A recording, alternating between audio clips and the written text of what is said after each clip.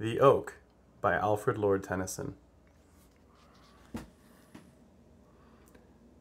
Live thy life, young and old, like yon oak, bright in spring, living gold.